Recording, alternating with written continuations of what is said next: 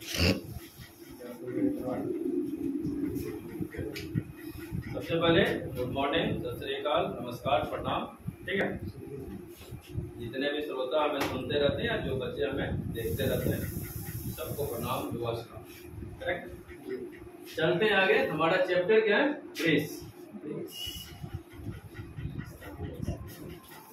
Twelfth class का एक chapter है।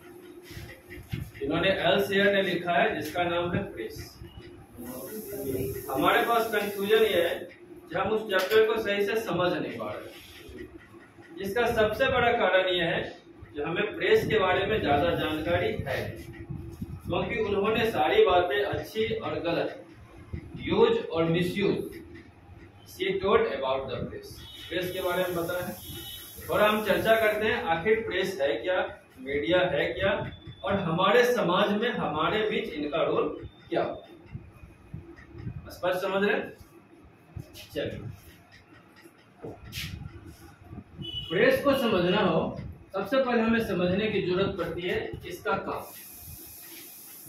प्रेस का काम है सूचना का आदान प्रदान करना। इसका मतलब जो सूचना यहाँ रखा हुआ है, इसको उठा के जनता तक लेके जाना। और जनता की जो सूचना होती है, वो सरकार तक लेकर जैसे कि मैं एक एग्ज़ाम्पल के थ्रू बताता हूँ आपको। सरकार को कोई भी चीज़ घोषणा करना होता है, यानी कोई भी बात अगर जनता तक पहुंचानी होती है तो सरकार क्या करती है? प्रेस कॉन्फ्रेंस करती है। यानी प्रेस मीडिया के जितने भी लोग होते हैं, उनको अपने यहाँ बुलाती है और उनके सामने सारी बात करती है हमने जनता के लिए ये घोषणा किया, ये प्रावधान रखा, ये कानून रखा एक्सेट्रा प्रेस क्या करती है? उस चीज़ को प्रिंट मीडिया में छापती है। मास मीडिया में लाती है, डिजिटल मीडिया में लाती है, और आजकल तो सोशल मीडिया का भी जमाना है। और ये सरकार की जितनी भी बातें हैं, वो जनता तक फैल जाती है। जनता को समझ में आती है, सरकार की प्लान ये है, सरकार आगे ये करना चाहती है, ये टैक्स लगाना चाहती है एक्सेट्रा एक्सेट्रा जो भी बातें सरकार क्या करती है मैं इस पर बहस नहीं करना चाहता। क्योंकि हमारा टॉपिक है प्रेस हम, हमें इसके काम को देखना। ठीक है? अब लेट सपोज़ मान के चलते हैं तो यहाँ पर क्या होता है? गवर्नमेंट की जो बातें होती है है ना? ये चलेगी कहाँ पे? पब्लिक के पास। ठीक है? यानी जनता के पास बातें पहुँच गई। यानी गवर्नमेंट ने जो कुछ भी कहा, वो जनता तक पहुँच गई। अब मान लीजिए बिहार के किसी गाँव में बहुत बाढ़ आया हुआ है, स्थिति बहुत खराब हो गया, कोई बीमारी आ गई, इस तरह की कोई भी बात होती है तो एट ए टाइम प्रेस हमारे पास आता है। अब प्रेस में जो कुछ भी हम करते हैं, ये भी अब बातें मीडिया के अंदर आनी शुरू होती है तो पब्लिक की बातें किसके पास पहुँच जाती है? सरकार के पास। ये एक और सुविधा हुआ है आज के डेट में, जो गांधी जी का सपना था, ग्राम सरकार। ग्राम सरकार का मतलब जो अभी गाँव में मुखिया, सरपंच वगैरह वगैरह रहते हैं। तो ये सरकार भी काम करती है, क्योंकि मुखिया जिसे हम कहते हैं ये उस गाँव का, उस पंचायत का मेन व्यक्ति होता है तो इनकी भी ड्यूटीज़ है, हमारे गाँव के अंदर कोई ऐसी बातें ना हो। तो मुखिया जी भी अपनी बातें कहाँ लेके जाएँगे? प्रेस के पास ही लेके जाते हैं? या फिर जो हमारा एग्जीक्यूटिव टीम है ऑफिसर टीम है, उनके पास लेकर के जाती है? ऑफिसर टीम भी मीडिया को बुलाती है और सारी बातें कहती है ठीक है, गाँव में परेशानी हुआ, मैंने इस काम को किया, ये किया, वो किया एक्सेट्रा जब प्रिंट में बातें आती है तो फिर सरकार के पास जाती है? सरकार इस चीज़ को संज्ञान लेता है और जो उचित एक्शन होना चाहिए, सरकार अपने तरफ़ से देती प्रेस का काम, अमूमन काम यही।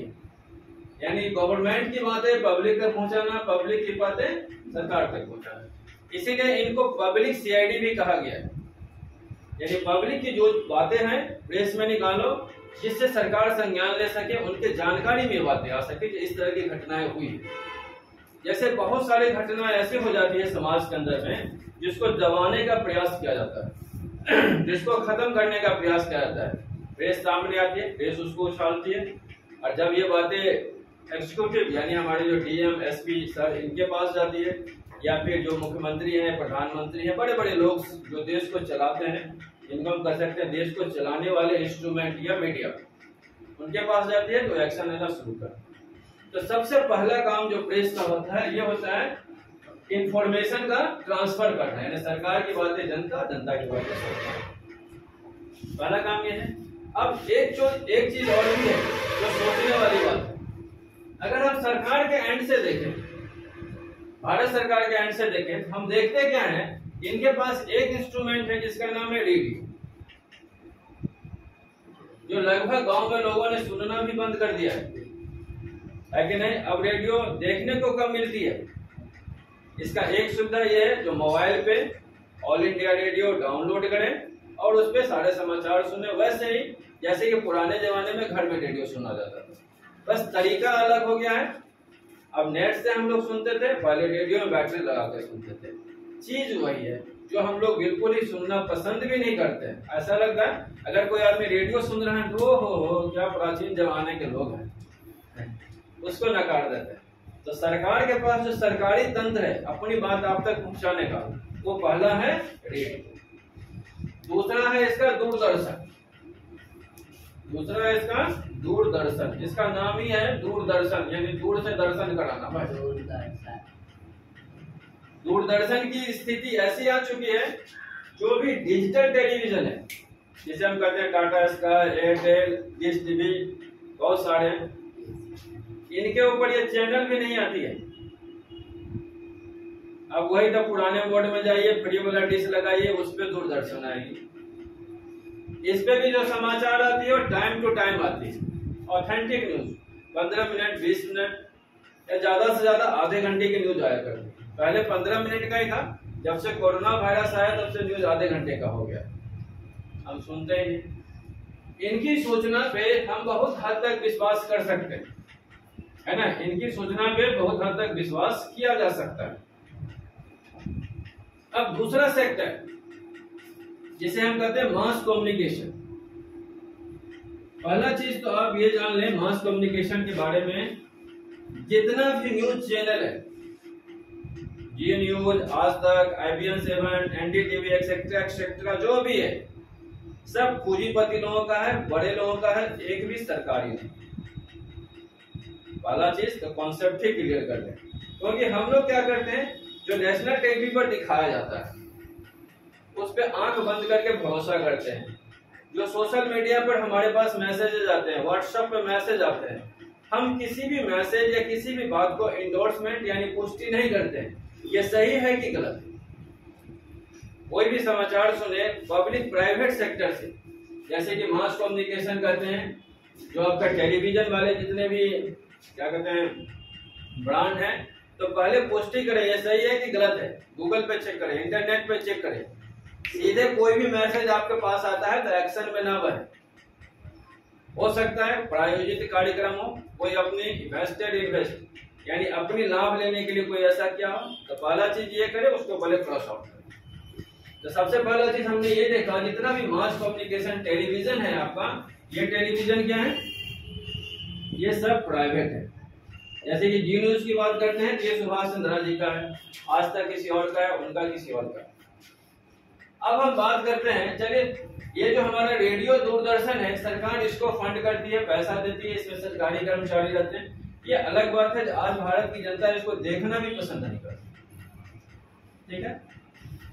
अब हम बात करते हैं मास कम्युनिकेशन तो इसको करें।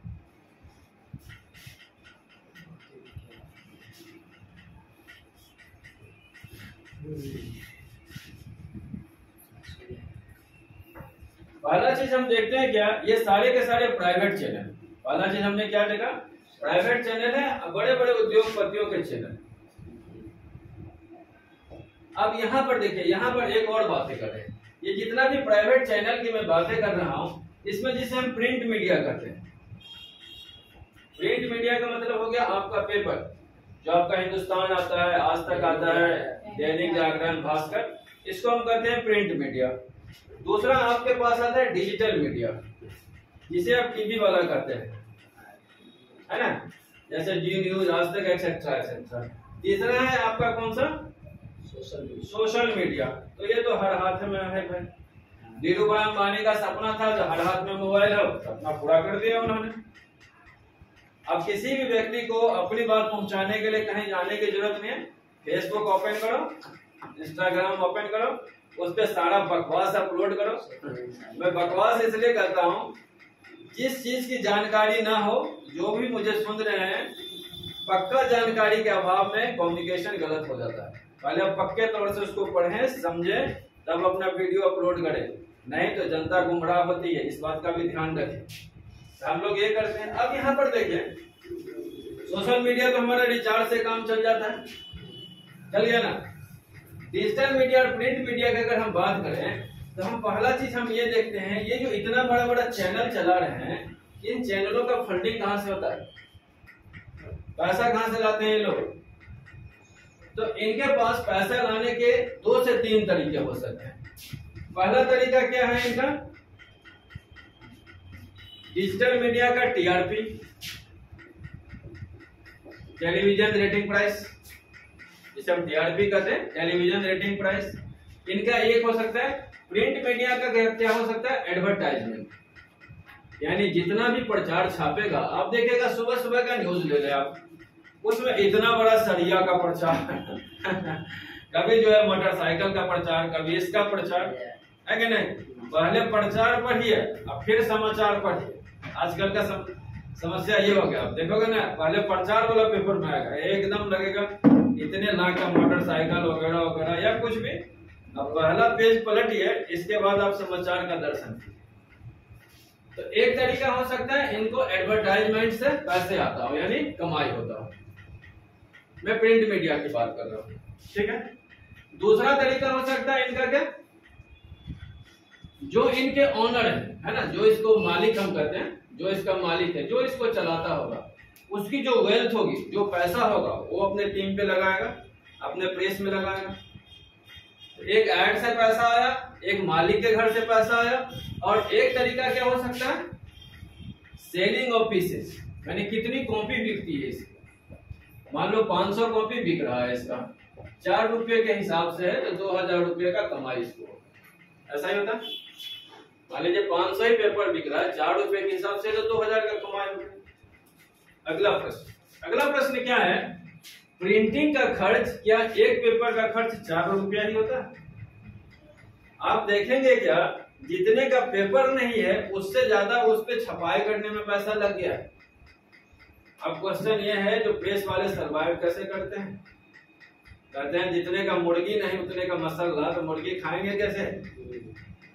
मुर्गी खाने का तरीका है, ये एडवर्टाइजमेंट से पैसा आता है। मुर्गी खाने का तरीका है, ये जो मालिक अपना पैसा लगाते हैं।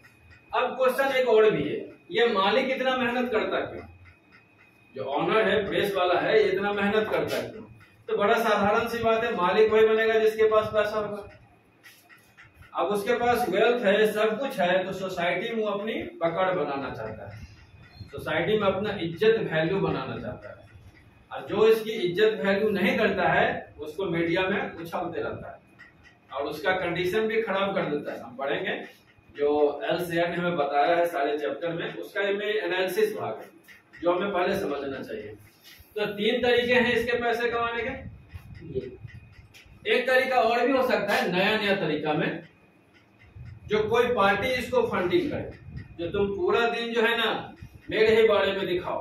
मेरे लोगों के बारे में दिखाओ एक्सेट्रा एक्सेट्रा दिखाओ। यानी इससे अच्छा आज तक इतिहास में कोई पैदा नहीं किया ऐसा दिखाओ। एक और तरीका क्या है? पार्टी फंडिंग हो सकता है? पार्टी जो है, इनको पैसा देती है। मैं किसी भी पार्टी का नाम नहीं लूँगा, क्योंकि मेरे नज़र में बहुत सारे पार्टी यही काम करती है। इसीलिए नाम लेना उचित नहीं है, ठीक है? लेकिन पार्टी फंडिंग होता है। तो तीन चार तरीके से पैसे कमाते हैं। अब यहाँ पर देखिए, हम लोग क्या करते हैं? जो प्रिंट मीडिया हो डिजिटल मीडिया का भी सेम हाल है सोशल मीडिया में पैसा नहीं मिलता है है ना? क्योंकि ये हर व्यक्ति के जेब में है तो इसको हम नहीं कर सकते। डिजिटल मीडिया का वही यार है टीआरपी बढ़ाता है एडवर्टाइजमेंट आता है। अब देखिए ब्रेकिंग न्यूज़ है कि नहीं? नीचे आएगा घी सस्ता हो गया, क्या ब्रेकिंग न्यूज़ आप देखिएगा, बहुत सारा आपको हँसी आएगी, है ना? देश के प्रधानमंत्री ये कर रहे हैं जीएसटी बढ़ गया। अब देखिएगा ऊपर वाला लाइन कुछ और रहता है, नीचे वाला लाइन कुछ और रहता है। है कि नहीं? ये काम हो गया है हंसना सेहत के लिए स्वास्थ्य कारक क्या? तो ये जो ब्रेकिंग न्यूज़ जो आते हैं, अब अगर मान लीजिए आधा घंटे आप टीवी देख रहे हैं तो 20 मिनट तो आपको एडवर्टाइजमेंट देखने में चला जाता है। एक कहावत भी है advertisement is the mother of the product तो ये जो टीवी की जो कमाई हो रही थी, कहाँ से होती है? एडवर्टाइजमेंट से अगर मान लीजिए एक मिनट या तीस सेकंड का किसी का प्रचार है तो सालाना उस प्रचार के लोग पाँच पाँच करोड़ रुपया टीवी को देती दस दस करोड़ रुपया टीवी को देती है। तो डिजिटल मीडिया तो उसी को दिखाएगा ना, जो उसको एडवर्टाइजमेंट देगा, जो उसको पैसा देगा, क्योंकि ये सारे प्राइवेट है।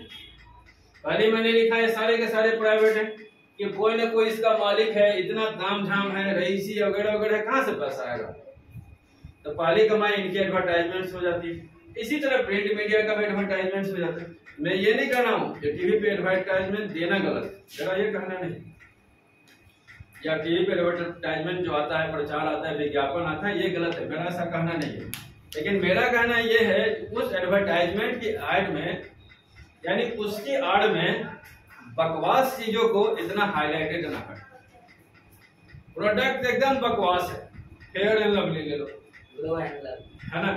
जो कोई भी लगाए तो घोड़ा हो जाए। आज तक एक भी एग्ज़ाम्पल दिखाओ कोई घोड़ा हुआ। इतना ही नहीं। मैंने एक हमारी हीरोइन है मैं आपको नाम नहीं बताऊँगा। एक हमारी हीरोइन है वो एक तेल का प्रचार करती है। इस तेल को लगाएँ आपके बाल घुंघराले हो जाएँगे। हकीकत ये उसका पति खुद ही गंजा है। है कि नहीं? तो ये हमने क्या देखा? एडवर्टाइजमेंट से पैसा आता है। सबसे समझने वाली बात क्या है? जो भी प्रिंट मीडिया, डिजिटल मीडिया हमें दिखाती है, दर्शन कराती है, हम लोग क्या करते हैं उस पर आँख बंद करके भरोसा करते हैं। We are got graven mistake ये सबसे बड़ा भूल होता है। कोई भी चीज़ पेपर में आए मीडिया में आए तो एक मिनट रुक करके थोड़ा दिमाग से सोचे। डीएल शेयर ने भी एक सजेशन किया है, ऐसा नहीं है जब उसकी झूठ को नहीं पकड़ सकते हैं, उसकी बातों को नहीं पकड़ सकते हैं। लेकिन हम क्या करते हैं, हम कुछ सोचते ही नहीं। एक मिनट के लिए थोड़ा दिमाग स्थिर करके सोचे तो आपको सारा चित्र फिगर समझ में आएगा हो इस कारण इसने ये किया। क्यों? क्योंकि उसको ये काम करने के पैसे दिए जाते उतना ही नहीं, पैसे की अगर बात करें, आजकल डिजिटल मीडिया प्रिंट मीडिया का यूज़ करके लोग पॉलिटिक्स चलाना शुरू कर दिए। इनका भरपूर उपयोग करते हैं पॉलिटिक्स में टीवी पे एक क्या कहते हैं प्रोग्राम आता है, जिसका नाम है डिबेट सुना है कभी? आप देखोगे कभी कभी चार बजे से, छह बजे से या दस बजे से एक चैनल पे आएगा, देश में कुछ भी हुआ, नहीं हुआ, पता नहीं व्हाट्स उस पर डिबेट आना शुरू हो जाएगा। सबसे पहली बात तो मैं ये बताऊँ, जो भी मुझे सुन रहे हैं, जो डिबेट की बातों पे भाई उतना भरोसा ना करो, ये सब प्रायोजित रहता है, अब पैसे लेके ऐसा बकवास किया जाता है। मैं क्लियर थॉट में बता रहा हूँ। जो भी चैनल पे आता है, क्यों आएगा? जब तक उसको कुछ दान दक्षिणा पैसा ना मिले तो क्यों ऐसा भड़काऊ भाषण देगा? एक हमारे एंकर साहब होते हैं, बैठ जाते हैं, वो पीन करते रहते हैं और सब बकवास करते रहते हैं। जो भी डिबेट देखते हैं, उसको बस इंजॉयमेंट ले, मनोरंजन का चीज़ समझे, मनोरंजन करके आप भी निकल जाए। सीरियसली ना लें तो सीरियस लेने वाला चीज़ नहीं है। जैसे मान के चलते हैं ये एक एंकर है। ये एक टीवी है। यहाँ क्या है? एक पत्रकार जो है बैठा हुआ है। है ना? यहाँ पे सारे पार्टी के लोग बैठे हैं। मैं किसी पार्टी का नाम नहीं लूँगा अलग अलग पार्टी के लोग बैठे हुए एक मुद्दा आ गया। कोई भी मुद्दा ले लो। उस मुद्दा में चलिए हम ले लेते हैं किसका? राम मंदिर का ही मुद्दा ले लेते एक मिनट के लिए। अब एक पक्ष को मिला है क्या? आपको सपोर्ट में बोलना है। एक पक्ष को मिला है आपको अपोज में बोलना है। एक पक्ष को मिला है क्या पैसा? आपको इस दोनों को बस पिन करते रहना, बस जो कुछ बोलता है। अब बीच में एंकर साहब भड़काने का काम करते हैं। हमें समझना चाहिए, जो भी हमारे देश की जनता है, उसको इस बात को समझ होना चाहिए। ये सारे प्रायोजित हैं और सारे प्राइवेट है। प्राइवेट का मतलब सारे न्यूज़ चैनल वाले प्राइवेट हैं, सब पैसा लेके ये बकवास करवाते हैं। आप जान लीजिए छोटी छोटी बातें जो टीवी पे बोला जाता है, इसके वजह से कितना बड़ा रूमर हुआ, कितना मॉब लिंचिंग हुआ, कितनी तरह की बातें हुआ। अगर हम थोड़ा सा दिमाग लगा दे इसमें, ये प्रायोजित कार्यक्रम है और ये पैसा लेकर के दंगा फैलाना, वोट लेना एक्सेट्रा एक्सेट्रा काम के लिए किया जाता है तो क्या हम कभी कन्विंस हो पाएँगे? हम भी तो वैसे ही मज़ा लेंगे जैसे ये मज़ा लेते हैं। ये बोलेगा चलिए ये चीज़ गलत है? ये चीज़ गलत है? ये चीज़ सही है? ये चीज़ सही है। मैं ज़्यादा डेटा एनालिसिस नहीं कर रहा हूँ। क्योंकि मैंने जो चीज़ देखा है, उसको मैं संक्षेप में बताने का प्रयास कर रहा हूँ। ठीक है? नहीं तो पता चलता है मास्टर बहुत हीरो बन रहा है, इसको अंदर कर ये सब भी बात आता है। लेकिन आप देखें, अभी जो मॉब लिंचिंग हो रहा है, मुझे एक चीज़ का आंसर दो सीधी सीधी बात। है देश के अंदर जितना भी क्राइम हुआ है, जितना भी कांड हुआ है, जो कुछ भी हुआ है एक भी नेता बताओ जो आग में जला हो। सूचना आती है दिल्ली से सूचना आती है पटना से ऐसा हो गया है। हम जनता इतना मूर्ख इंसान है जो उसके पीछे कमांडर लेके दौड़ जाते हैं। हमारी जात को गाली दिया है इसका तो सर कलम कर देंगे। अरे भाई कम से कम इतना तो सोचो यार तुम जिसको मार रहे हो उसका नाम भी नहीं जानते हो। जानते भी नहीं हो कौन है वो? छोटी छोटी बात विवाद के लिए किसी का हत्या कर देना अलग अलग तरह की बातें करना। एक बार विचार तो कीजिए, जिसे हम पीट रहे हैं, मार रहे हैं, वो है कौन? एक बार भाई साहब से नाम तो पूछ लीजिए। जो भी निर्दोष जनता मारी जाती है, मुझे बताओ उसका कहीं कोई दोष है? कहीं कोई दोष नहीं। कहते हैं, आफत आया कहीं, लगा किसी को। बिजली चमकी कहीं, जान गया किसी ये रोल जो प्रायोजित करता है, इसमें मीडिया का बहुत बड़ा हाथ है। और इसके लिए मीडिया बहुत ज़्यादा जिम्मेदार है। मीडिया खुद को तो कहती है, जब देश के चौथा स्तंभ है। देश के हमारे तीन स्तंभ है, विधायिका, कार्यपालिका, न्यायपालिका। ये खुद को चौथा स्तंभ ज़रूर कहती है, लेकिन चौथे स्तंभ का रोल प्ले नहीं करती। क्योंकि इनका निहित स्वार्थ है वेस्टेड इंटरेस्ट जिसे कहते हैं। क्योंकि इनकी कमाई का साधन है। कोई भी पत्रकार आज के डेट में गवर्नमेंट के अगेंस्ट में नहीं बोलता। कुछ ऐसे एग्जाम्पल्स हैं जिस पत्रकार के जीवन ही खराब कर दिया सबने, सिर्फ़ सच बोलने के लिए। बहुत सारे पत्रकार इसलिए टारगेट किए जाते हैं क्योंकि वो सच बोलते हैं। अब बहुत सारे तो एकदम वाहवाही मलाई में डूबे हुए जाए कुछ भी हो यार, हमको तो पैसा मिल रहा है ना। दिखाते क्या है? बहुत देशभक्त हैं। हमसे बड़ा तो देशभक्त कोई है ही नहीं। भगत सिंह के बाद तो हमारा ही स्थान है। या क्या कहते हैं? गांधी जी के बाद हमारा ही स्थान है। ऐसे लोगों से बचे, इनके जानकारी से बचे, इस चीज़ को हमेशा समझे। और ये सारा चीज़ जो फ्रेमिंग करने का काम क्या है ना, ये प्रेस जो चैप्टर है हमारा, जो प्रेस को कितनी स्वतंत्रता होनी चाहिए, उस चैप्टर में सब कुछ डिस्क्राइब किया। और यही रीजन है, जब मैं शुरू में पढ़ाया था आप लोगों को समझ नहीं आ रहा अब पढ़ाएँगे? बिल्कुल समझ में आएगा ठीक है ना? Thank you very much